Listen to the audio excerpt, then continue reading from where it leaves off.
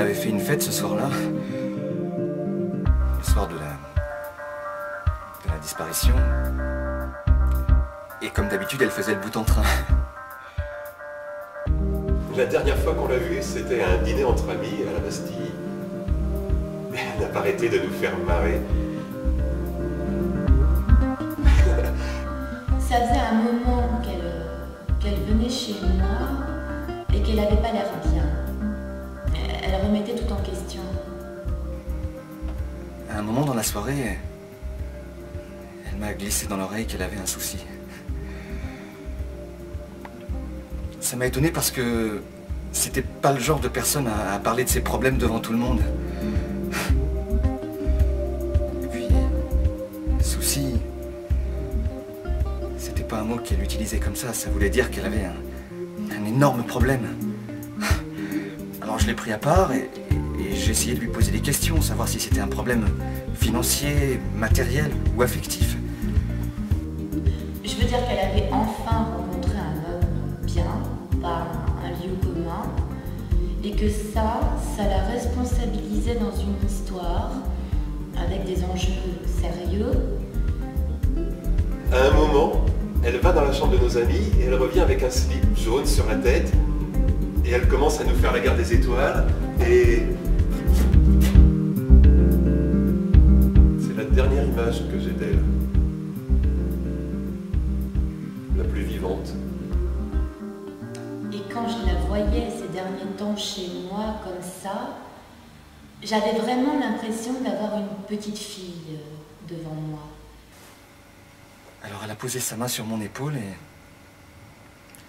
elle m'a souri d'un sourire qui voulait dire euh, Écoute, je t'aime bien, mais ne pose pas de questions.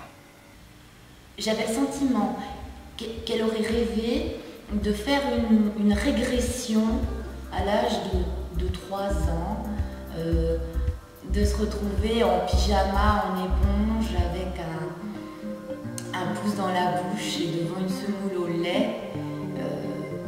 Dire par là de, pouvoir tout recommencer depuis le début en ayant le confort de la présence de la mère qui, assume les réalités euh, à sa place et, et- et la et, et la protège.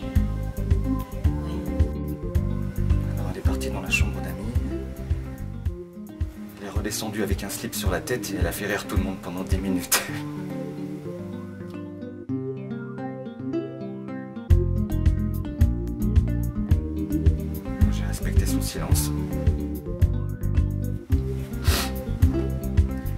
La soirée s'est terminée. Tout le monde est parti. Je me suis dit qu'elle allait m'appeler le lendemain et puis qu'elle m'expliquerait tout ce qui s'est passé. Je rigolais vraiment beaucoup en sa compagnie. Pour elle, le rire, c'était quelque chose de capital. Elle disait même que si elle ne riait pas au moins trois fois par jour, son quotidien était gâché. Ce qui est bizarre, c'est qu'on n'ait trouvé aucun message de son copain sur son répondeur à elle. Ça, c'est bizarre, je veux dire qu'il n'ait pas cherché à l'appeler. J'essayais de la faire parler de son copain, elle ne voulait pas du tout nous le présenter.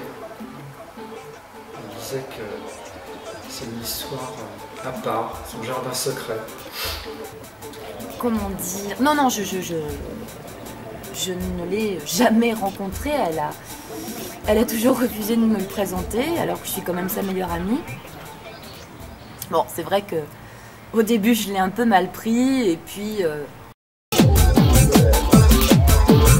Bon, je crois que je, suis quelqu'un de, philosophe, et je me suis dit que bon, tout le monde avait droit à un jardin secret.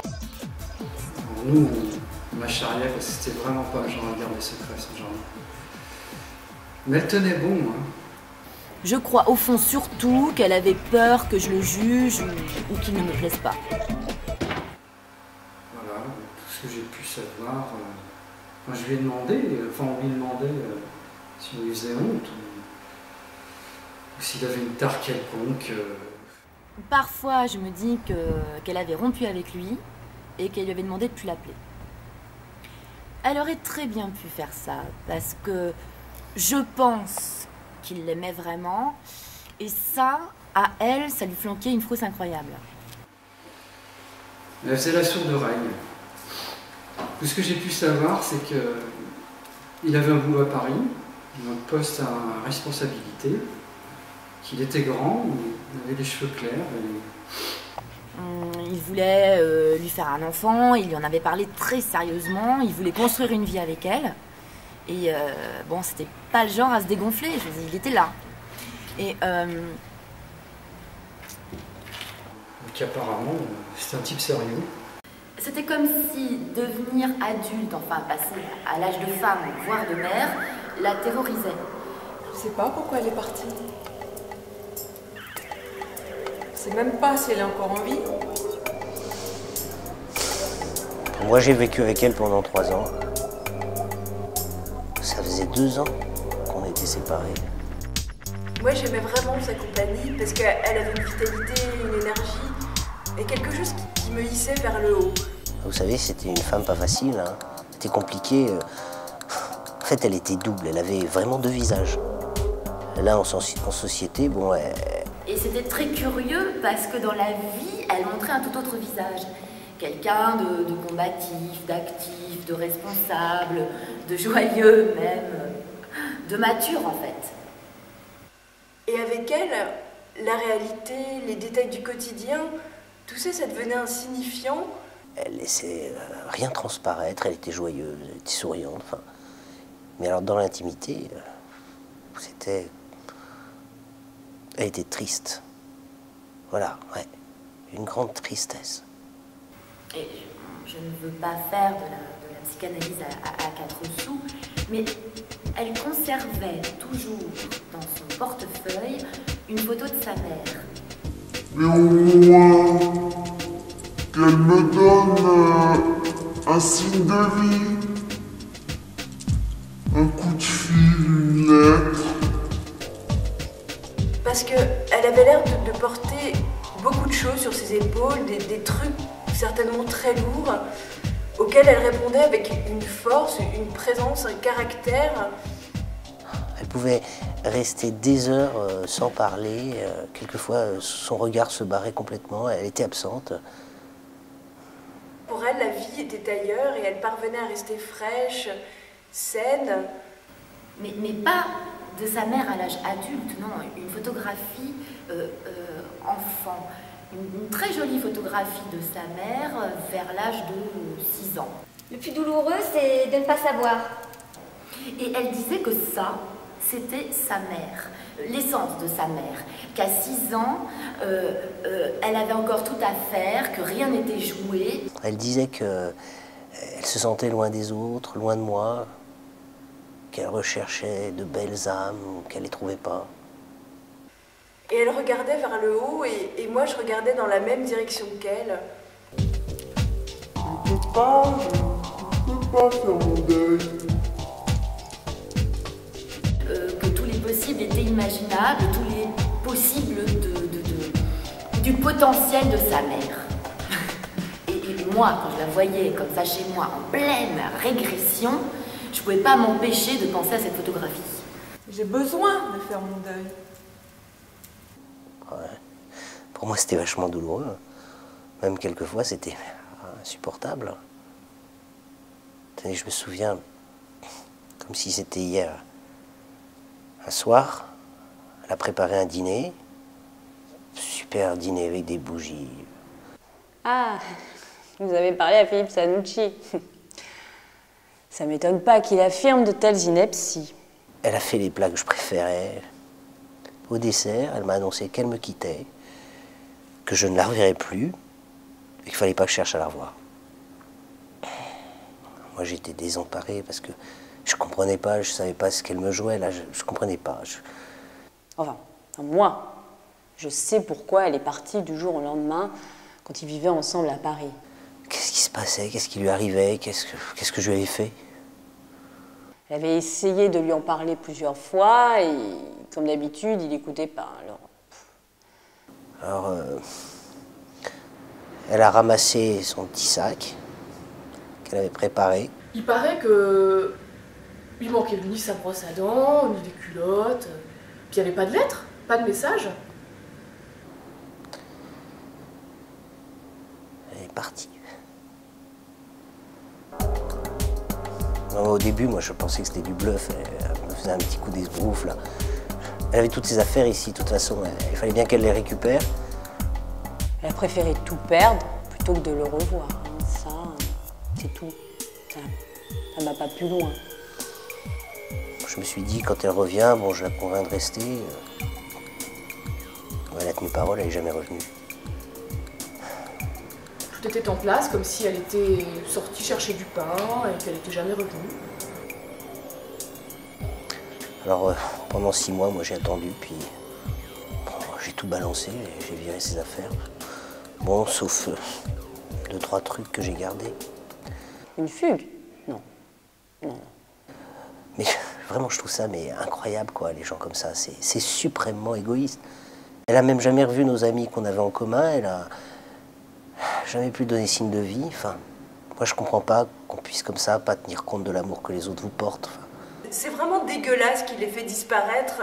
L'appartement était ni rangé, comme, comme lors d'un départ volontaire, euh, ni en bordel, euh, comme par exemple après une lutte ou un truc du genre. Il n'y a aucune trace, son appartement est resté intact. Bah, en fait, la police a classé l'affaire très vite parce qu'il n'y avait pas d'indice suspect, pas de trace d'agression dans son appartement. Vous me dites qu'elle a disparu, mais ça me surprend pas une seconde. Hein. J'ai même appris qu'une semaine après sa disparition, de l'argent avait été prélevé sur son compte en banque avec sa propre carte à Paris. Je sais pas, c'est vraiment des salauds les types qui ont fait ça. À quoi ça sert franchement Mais en plus sans même demander une rançon, mais, mais c'est vraiment juste pour faire le mal. Le montant était de 500 francs. Je veux dire, quand tu veux fuguer et changer de vie, tu prélèves tout ton fric, mais pas 500 francs. Qu'est-ce qu'on fait avec 500 francs de nos jours? On s'achète une carte orange ou on va au restaurant Moi, je crois plutôt qu'après le dîner où on l'a vu pour la dernière fois, elle n'est pas rentrée chez elle, c'est tout. Je pense que ce sont les types qui l'ont enlevé, qui ont tout simplement fait la bêtise d'utiliser sa carte. Ils se sont ravisés, maintenant ils sont loin. À un moment, on, a pensé que c'était euh, son mec, là. Un inconnu qui aurait pu faire le coup. Elle devait me présenter son ami. Je crois que c'était sérieux. Sa mère s'était tellement battue pour l'indépendance, son identité de femme, et qui s'en était pris plein les dents. Alors, je comprends pas. Parce que je ne le connais pas, je, ne sais même pas s'il l'a recherché. C'est vrai que lui, on l'a pas retrouvé non plus. Je veux dire que dans les années 60, il y avait tout à faire, ça devait franchement pas être facile. On ne se rend pas forcément compte aujourd'hui, mais c'était pas la majorité des femmes qui cherchaient à s'émanciper, loin de là, sans compter le, regard et le poids de la famille. Dans son quartier, euh, personne ne l'a jamais vu avec lui. Vous me direz peut-être qu'elle a couché chez lui. Il s'est jamais fait connaître, moi je connais même pas son nom. Si jamais euh, il l'avait vraiment aimé, il serait venu me voir. Il aurait pu demander l'adresse euh, aux amis de ma fille. Moi, je n'ai plus le même nom parce que j'ai divorcé. J'ai repris mon nom de jeune fille. Les enlèvements, euh, il y en a des tas. Hein. La police enquête un peu, cherche et puis classe l'affaire. Aujourd'hui, ça nous paraît naturel de, ne pas se marier, de prendre la pilule, de faire un enfant si on le sent, d'avoir des amants. Il aurait pu se renseigner.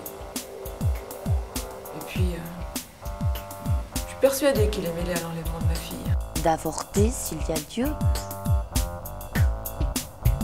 Même si tout ça doit se gérer, c'est gérable. Et tout ça, ce sont nos mères qui, pour nous, ont levé l'épée et pris le bouclier. On s'est fréquenté un moment, mais ça n'a pas duré longtemps. je crois qu'on on rigolait trop, euh, rigolait tout le temps. Hein. Du coup, ça, ça laissait que peu de place pour, pour l'érotisme. Moi, en fait, cette fille, je la connaissais surtout par l'intermédiaire de, de mon fiancé Jean Kerouac.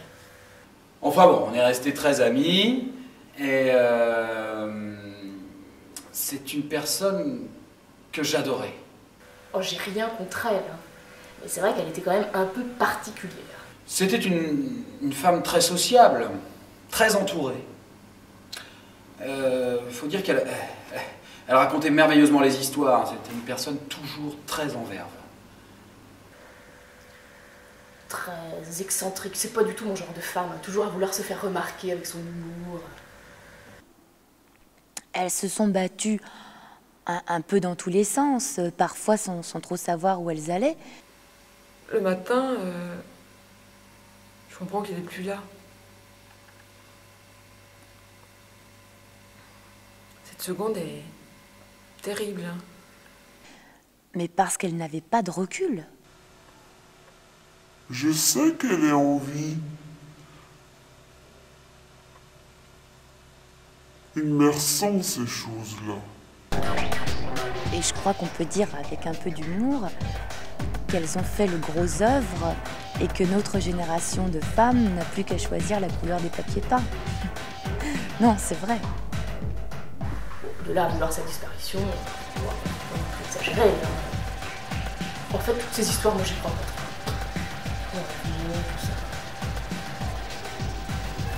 Oui, euh, la police, euh, sa famille ont fait des recherches. Bon, tout le monde s'est dit que c'était le type qui était avec elle. Et puis il y a eu, il y a eu ce gars. Enfin bon, sur ce, sur ce type, euh, mis à part le fait qu'ils avaient vécu quatre mois ensemble, Je me demande même si elle sortait vraiment avec ce mec, en fait. C'est possible de tomber sur un psychopathe, surtout quand on regarde la télévision. euh, c'est, euh, on a l'impression qu'on est entouré que de dangereux psychopathes. Euh, si, on a. Elle, elle nous a quand même dit qu'il avait les cheveux noirs, qu'il- qu'il bossait en banlieue parisienne. Enfin, euh, si, elle répétait tout le temps euh, un grand type bien. Comme elle en parlait, euh, je crois que c'était un homme qui l'aimait vraiment. Il voulait que- qu'elle vienne vivre avec lui, il lui reprochait de ne pas connaître ses amis.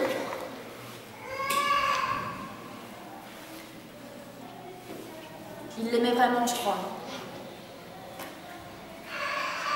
C'est pas lui. Je pense pas. Enfin, après sa disparition, on l'a cherché, ce type-là.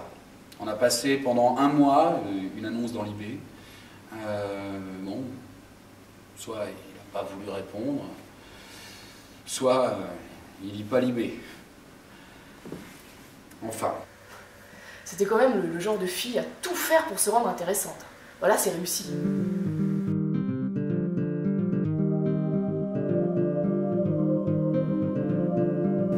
Les mères, enfin certaines de nos mères, euh, elles ont expérimenté de, nouvelles voies, elles se sont quand même pas mal plantées aussi. Euh, peut-être peut-être qu'elle avait tellement vu sa mère combattre et se fourvoyer dans, dans des expérimentations scabreuses et dans une incohérence totale, c'est vrai, il faut dire ce qui est, que de passer à, l'âge adulte, peut-être ça lui faisait peur.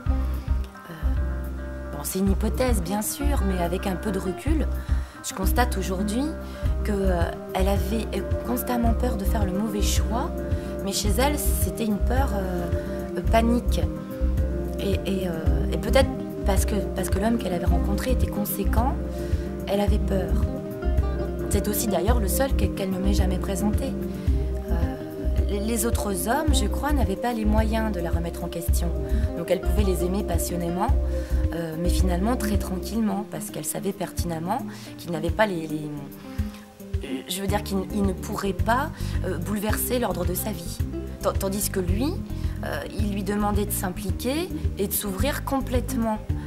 Donc il pouvait, parce qu'il était carré, il pouvait la protéger, mais elle ne pouvait en aucun cas se protéger euh, euh, devant lui, face à lui. Elle, était contrainte de se mettre à nu. Donc je sais pas, vous me demandez ma version des faits, euh, moi je l'ignore.